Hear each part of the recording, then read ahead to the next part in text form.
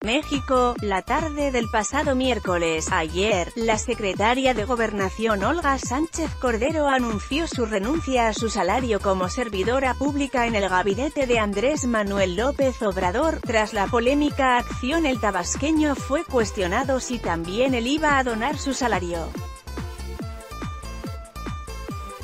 Andrés Manuel López Obrador dijo en conferencia de prensa que él no puede donar su salario como presidente de la República porque no es rico y vive de sus ingresos.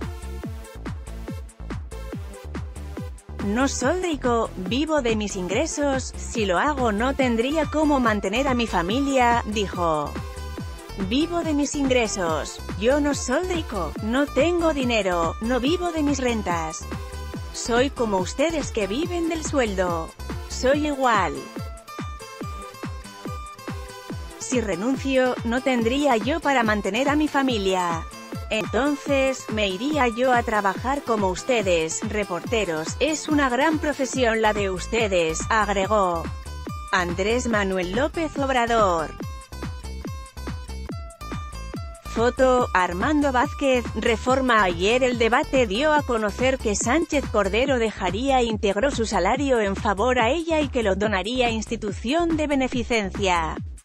En un encuentro con medios, la funcionaria indicó que su sueldo asciende a unos 107 mil pesos mensuales, los cuales, detalló, irán a una casa hogar para niños con discapacidad en Querétaro, que apoya desde hace varios años, estoy aquí por el proyecto de Andrés Manuel López Obrador.